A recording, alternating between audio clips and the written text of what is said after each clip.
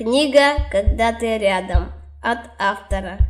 Своим романом я хотела напомнить нам, людям, о том, как быстротечна жизнь.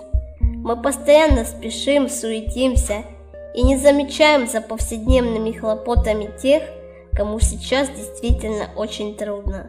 Мы ищем у близких и родственников сочувствия и понимания, порой не задумываясь о том, сделали ли сами что-то хорошее и полезное для других.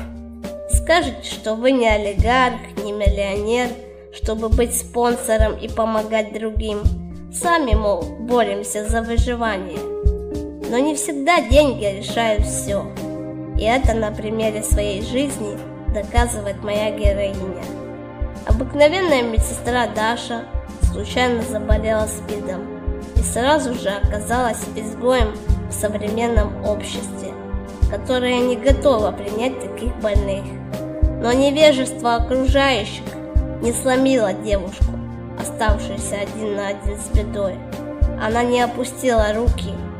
Не будучи богатой в материальном плане, Даша богата душевно.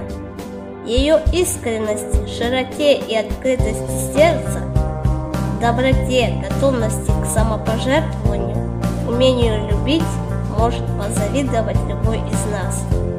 Мне очень хотелось бы, чтобы вы посмотрели другими глазами на больных СПИДом и стали хоть немного внимательнее и добрее к тем, кто сегодня находится рядом с вами. Искренне ваша Светлана Талант.